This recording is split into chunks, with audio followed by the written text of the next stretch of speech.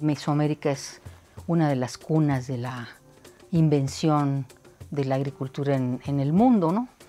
Así que cuando llegan los españoles, pues eh, se ponen en contacto eh, dos agriculturas muy diversas, de tal manera que más o menos en un siglo, el primer siglo del contacto, de la colonización, se, se da un proceso realmente revolucionario en muchos órdenes, no solamente ambiental, agrícola, sino también social, demográfico, pues de grandes eh, dimensiones.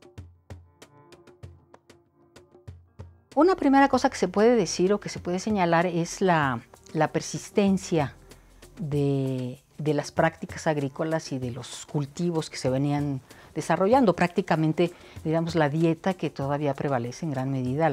Eh, me estoy refiriendo al maíz, a los frijoles, las calabazas, los chiles y otras plantas que perdieron importancia, pero que en, la época prehispánica la tuvieron mucho, por ejemplo, los amarantos, las chías. Esas persisten hasta la fecha.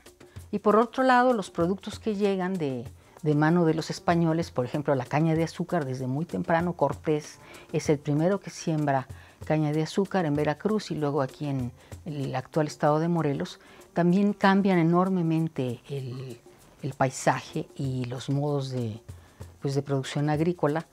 Entonces llegan los españoles con todo el ganado mayor, llamamos a decir el bovino, ovino, este, y además los puercos, las gallinas.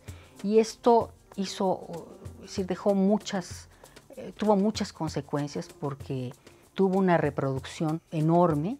Entonces este, ocupó grandes espacios y esto produjo muchos trastornos a la agricultura indígena. Pero por otro lado, sobre todo los animales de trabajo, pues impactaron en la agricultura porque se pudo, eh, junto con el arado, eh, hacer un, hubo un cambio en las formas de trabajar la tierra con, con, esta, con este nuevo instrumento de trabajo, porque en Mesoamérica solamente había instrumentos manuales y con el arado hubo entonces una transformación muy importante de la productividad del trabajo y de las formas de, trabajar los suelos.